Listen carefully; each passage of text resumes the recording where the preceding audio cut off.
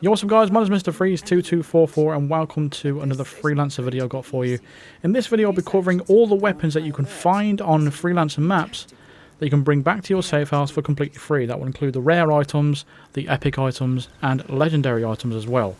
Uh, the only thing I won't be covering is common guns. And the reason for that is because there's so many on different maps, it'll be ta it will take a long, long time to get it all you know, to record all that stuff because those common guns that you will find on guards and in security rooms anyway. Everything else is I'm going to be showing. I'm going to be showing you the melee items, the common melee, melee items, as well as knives and stuff like that, as well as rare items, rare weapons, uh, epic weapons, legendary weapons. So I'll be covering basically all the maps except for Santa Fortuna and Dartmoor. And the reason for I'm not covering those is because there's no rare or epic or legendary items on those maps. They're just common weapons on there. There's nothing of value. So I'll be going through all the maps uh, one by one. No specific order. It's just the order that came up on me when I was playing Freelancer at the time. So, uh, you know, I'll, I'll, go, I'll go through it one by one. And let's see how we do. I'll also show. I will also tell you what common weapons are actually on that map as well. But I just won't be showing you where they are. So I'll be showing you a map link as well as me picking up the items to show you exactly where they are. So here we go. Starting off with Mendoza. So the first thing that people would probably really be interested in is the Hackl 9S Covert, which is the suppressed pistol of the guard's ammo. Now, this will only spawn on Mendoza if there's a safe on the map, and this guy's guarding it down here. And he's, every time I've seen it, is he's been a target, so that's the only way this spawns. It needs to have to be Mendoza with a safe around this area, and the, and the guard will be hanging around this area, and he will drop the weapon once you take him out. So that's how you get the the Hackl 9S Covert.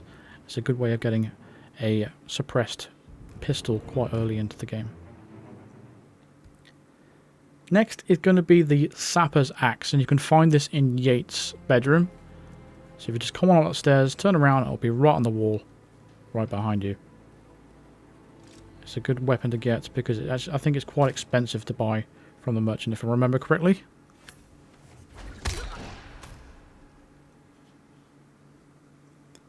Next item is the Bartoli Woodsman Hunting Rifle. This, this is the sniper rifle that you can pick up for free. So if you go to the sniper's nest, using the main map, there's usually a Sieger 300 Viper there, but they've replaced it with this terrible version of a sniper rifle it is actually a common sniper rifle, but though, but I thought I'd show it because it, just in case you don't have a sniper rifle and you've got sniper uh, objectives, you're best to just grab it because it's better than nothing. Now, other common weapons you can find on Mendoza is a Bartoli hunting shotgun. Uh, some guards will be carrying it, and you will find, also find a Sieger AR-552 tactical that you can collect as well. Next up is Paris, and I'm going to be showing you just the one thing, and it's going to be a saber. This is going to be a rare item. It will be in the museum. Just break this glass right here, and you'll be able to take this back to your safe house. It's another rare melee item. Other items on this map occur including the HX-10 Common SMG, also a Fusil G2, and a Bartoli 12 gauge shotgun as well. You'll find them in the security room. Next is Whittleton Creek, and the first thing I want to show you is the the HX7 covert. So this will be around Cassidy's house. There'll be a guard patrolling. He will have a suppressed SMG, so it's a good SMG to grab. So if you want to just take him out, he will be wandering around outside, and you can pick it up straight from the bat.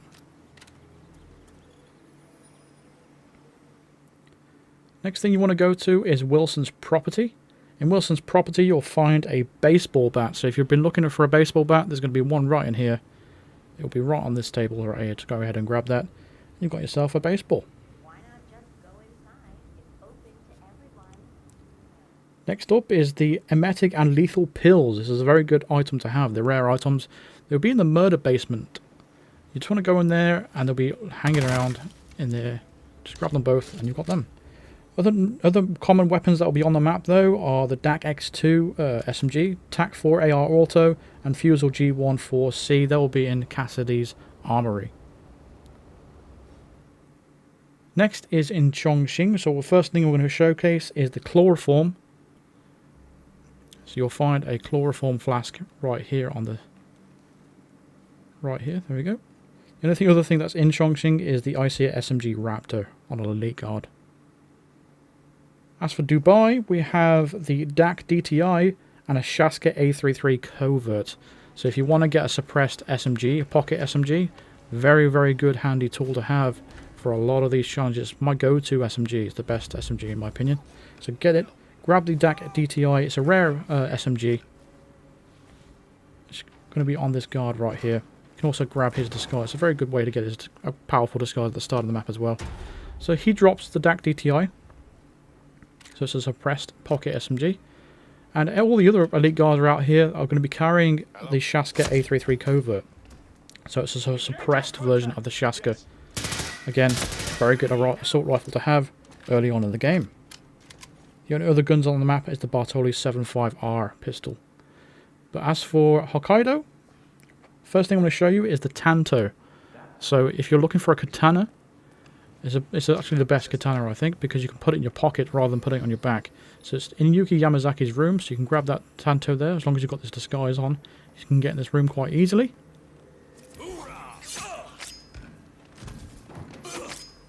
There's some other useful tools on the map as well, so next thing is going to be a disposable scrambler. That's going to be in the security room, so you are going to need a lockpick for this or a crowbar. So it's just going to be in this little uh, cabinet right here, so you can use the lockpick on that. Inside is going to be a scrambler. It's only for one use though, however. And just right behind you is going to be a police baton. So you can use that as a non-lethal melee. Again, both are common items. And the last thing I want to show you on this map is going to be a baseball bat. So go, again, if you're looking for a baseball bat, it's going to be one in the director's office. Excuse the mess. The cleaning lady hasn't been around yet. So you will need the director's uh, disguise for this, or you can use the scrambler to get into this room if you really want to. But the baseball bat is going to be right here, sitting on the floor.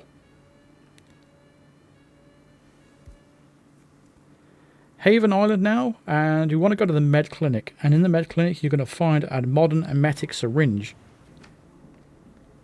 So common item. Also, there's some lethal pill jar in there, but you can't bring the pill jars back to the safe house.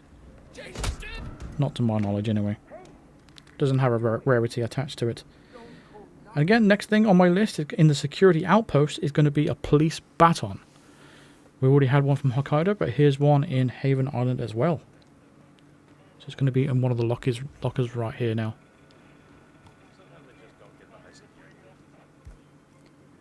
And the last thing on Haven Island is a pretty good tool as well. In the security room of the mansion, there's going to be a remote explosive at the back of the room. There's one enforcer in the room if you're wearing this disguise. It's a little tricky to pick up actually. It's like a bit of an awkward angle because there's there's a weapons crate right here and this guy tends to just hang around. It's really annoying. But there's a remote explosive just right there. But as, of, as for that, that's nothing else of note in Haven Island. But moving on to New York, there's quite a lot of stuff here, so let's go through one by one. First of all, there's a claw hammer right here in the garage area. So grab that. It's a common melee item. And the next thing on the list is a chloroform flask. You may have seen me uh, actually break into this cabinet several times if you've seen any of my streams this week. So you go and use your lockpick or a crowbar on this. And there's a chloroform flask just inside.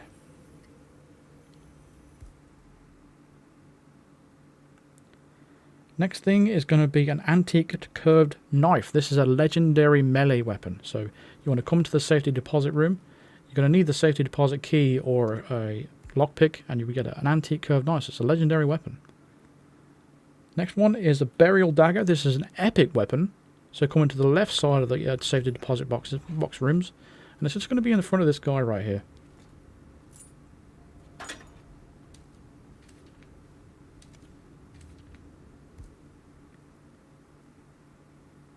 Next thing on my list as well is the police baton once again. If you go into the security hut on level 2, you'll find a police baton right on the table.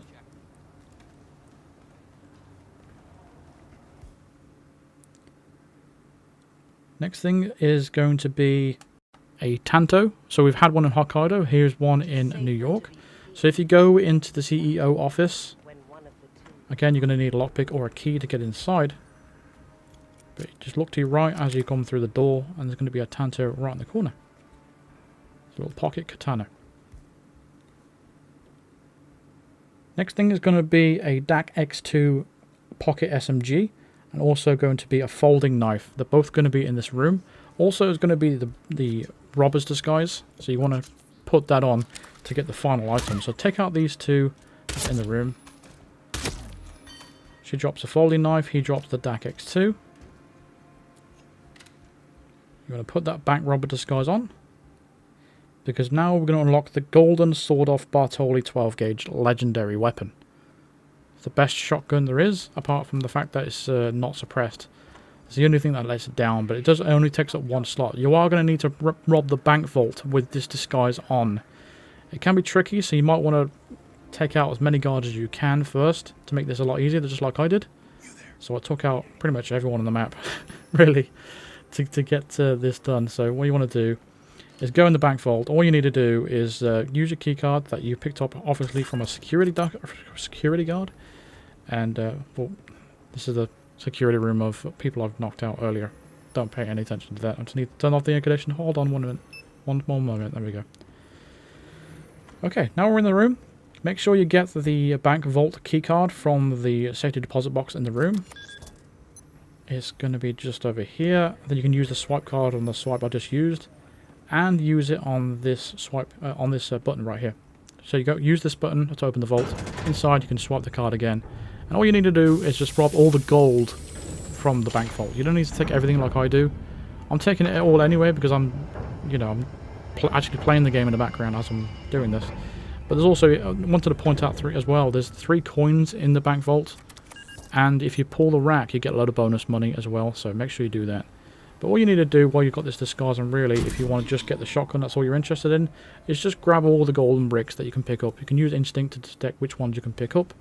And once you've picked up all, uh, all seven that's available, a big pile of gold bricks will spawn right in the middle of the bank vault.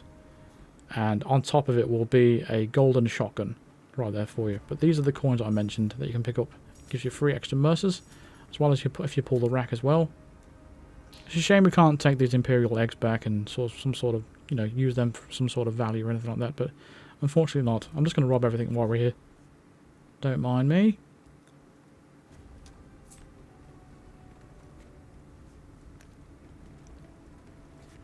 But yeah, right in the middle of the room, it's going to be a big pile of golden bricks, and there is your shotgun legendary. Now moving on to Berlin, we have the modern sedative syringe and a baseball bat. They're both going to be around this location here, so you want to get use a lockpick or a key to get inside this little cabinet right here. Inside there's going to be a modern sedative syringe. It's good to collect all these up. You're going to want this biker's disguise ready to get around this area freely without any problems. And in Hirschmiller's office is going to be the baseball bat. So this is the third location that contains the baseball bat. This is just right here. There we go.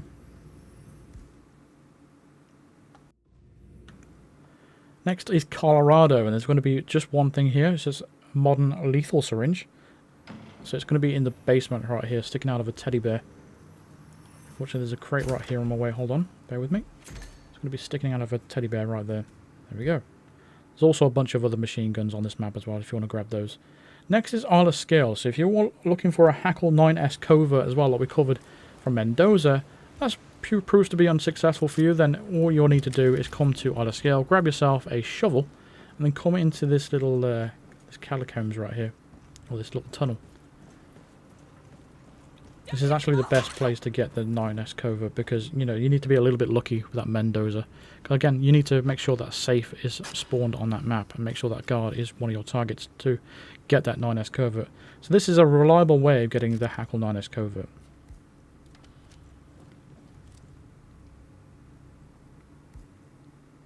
Next up is a rare melee item. It takes place in the catacombs. And it is a mace. So it's going to be sitting right here. There's also one in the penthouse as well if you if you don't want to come down here. Next is going to be the in the warehouse is going to be a katana and a burial dagger and a circumcision knife. So there's three things in here. So first is the katana. So you want to grab that if you want if you need a katana. Which is an epic weapon. Next one is going to be a burial dagger. So that's going to be in the middle of the room. All of them are on the same floor, by the way. There's the burial dagger. That's another epic weapon. And the final thing in the room is going to be a circumcision knife. So you can go ahead and grab that as well. It's a rare weapon. It's going to be in the corner of this area, so don't mind me at the moment. I'm just trying to trying to record a video, and these guards are interrupting me.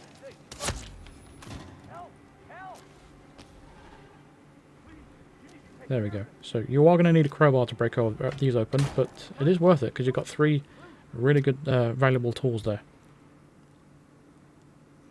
Next up is going to be in the penthouse, and there's going to be a sapper's axe up here, and also the mace that I was talking about. So you are going to need to come up here with a Leaguard disguise, but the sapper's axe is right there. You can take that back with you, and there's a couple of maces right here as well. Last up is going to be in the Constant's office, and it's going to be a saber. So we already had one in Paris. This is another one you can get. So if you didn't get the one in Paris, you can get this one right here. It's going to be hanging on the wall. All you need to do is shoot it to get it down, and that is it.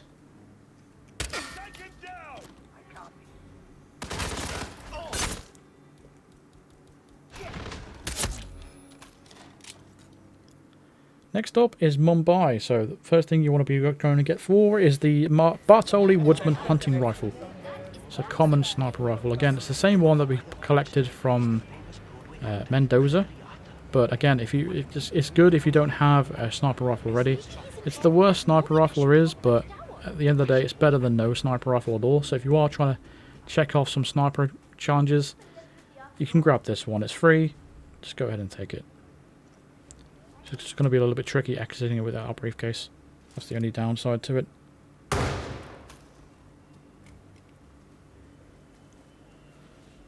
So next thing I'm covering is the folding knives. It's going to be in the Kashmir's apartment outside, hanging off his uh, door. And other things on the map to be noteworthy are, are really is the DAK X2 SMG, which is carried by some guards on in Rangan's tower, and a HX10 SMG, just carried by some, uh, some of the Bollywood guards. But that's Mumbai. Moving on to Marrakesh, there's also going to be a saber in the shoe shop. So if you go in the shoe shop, you can get a saber from there. Just behind the table, there we go.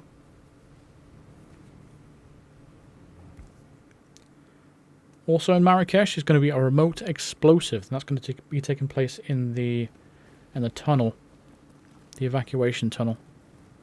So it's going to be on a central table in there. That'll be a common explosive, but it's always good to grab these just in case you don't have one, and it saves you a little bit of money. They don't cost a lot. I think there's like, I don't know, 500 merces or something like that. But it is worth it. Also on this map, you can get, grab a shotgun there if you'd like. There's also a pistol on the table, and a Shaska A33 is carried by some guards. Now as for Miami, the first thing I'm covering is another baseball bat. It's going to be in this little uh, house right here, this little fishing house or boat shed or whatever it is. But there's going to be a baseball bat just right there. There we go. Next is the modern sedative syringe, and there's going to be one just in this room here. There's also another one uh, down by the medical bay, but you can grab this one here. It doesn't matter which one really. But it's going to be inside this cabinet, so you are going to need a crowbar or a lockpick to get inside, and you can take that back with you. Also in the medical area is an amputation knife. So it's the only one that's on the any of these maps. So if you want to go in there and grab that, it's going to be on the table. There's nothing else in this map that's uh, worthy of note though. So just grab those and you're good. Next up is Bangkok, and you're going to go to Cross's office. Inside is going to be another baseball bat. So there's another covering. There's quite a few baseball bats on all these maps. But it's always good to know because there's always a few prestige challenges that involve a baseball bat. Next is going to be in Cross's bedroom. It's going to be a Tanto sword. So in case, just think this is the third location where a Tanto could be. It's the best katana to have because you can just stick it in your pocket. But it's going to be laying on his bed just right there. And there we go. Next is Sapienza, and the first thing I'm covering is a folding knife. So just outside the Sanguine shop, there's going to be a couple of guards hanging around. There's going to be a folding knife just on the table. I don't know why it's there, but it's a little bit tricky to get get it off them without, you know, causing distractions and stuff. And the next thing is another baseball bat. It's going to be in this little uh, little shop right here. Again, you're going to need a lockpick or a crowbar. And you need to make sure that no one sees you do it. As I was recording this, I clearly didn't care for any witnesses. But uh, obviously you'll be a lot more careful than I do. But here's your baseball bat. Nothing worthy of note again in Sapienza. But Ambrose Island, there's a few things here. So first thing I'll be covering is an oil canister. So you want to go to where this place where they're repairing a boat. And you can take this back with you. So you can use this for several uh, challenges or several objectives at your safe house. Next is a DAK X2 Covert. It's a rare SMG, pocket SMG, but it's been held by Noel Crest, so it's a little bit difficult to get it off him.